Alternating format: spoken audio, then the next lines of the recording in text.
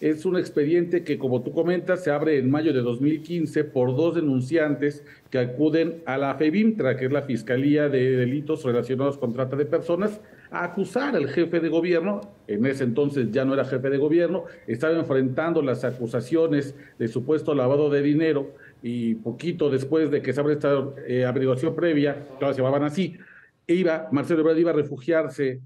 en Francia y bueno, ocurre esta acusación. Le dice, dos hombres llegan a la, a la PGR y dicen, nosotros personalmente, por encargo del clan Iglesias Rebollo, el zar de los giros negros, le entregábamos a un representante de Marcelo Ebrard cada mes cinco millones de pesos en efectivo que se ocultaban en maletas y que se ponían en fajos de 100 mil de, de, mil pesos, digamos, en paquetitos. Y estas dos personas cuentan que se animaron finalmente en 2015 a hablar porque tenían mucho miedo a las represalias. Pensaban que Marcelo Ebrard podía ser en 2012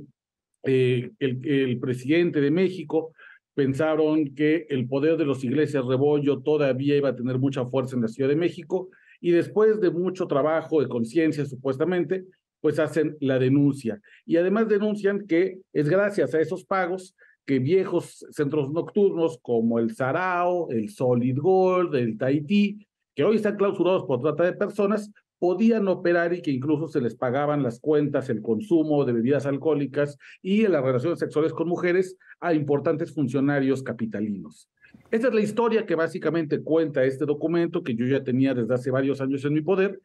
y fue de mi interés, eh, querido Jesús y querida Belinda, compartirlo con los lectores de la lista en mi columna de cada jueves, Hora de Silencio, porque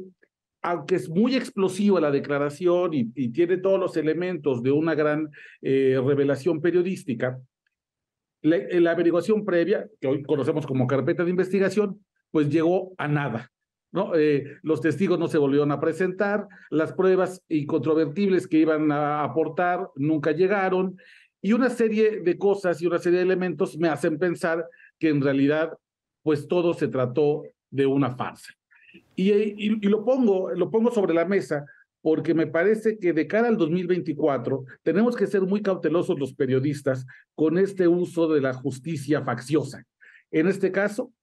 el contexto es importante. Marcelo Ebrard enfrentaba la furia del presidente Enrique Peña Nieto porque él aseguraba que Marcelo Ebrard había filtrado los documentos de la investigación de la Casa Blanca. Marcelo Ebrard siempre ha negado esto, pero ha dicho que la razón por la cual se le iniciaron varias carpetas de investigación en ese momento era porque había una, una especie de intento de venganza. Y en ese contexto es que ocurre esto, y por eso es que lo pongo en ese, en ese matiz, ¿no? Esto probablemente era una intención de inmiscuir a Marcelo Ebrard en redes de trata de personas que ya eran muy importantes y potentes en la Ciudad de México, cuadrar un relato criminal y entonces darle, digamos, una estocada final para que su carrera política muriera.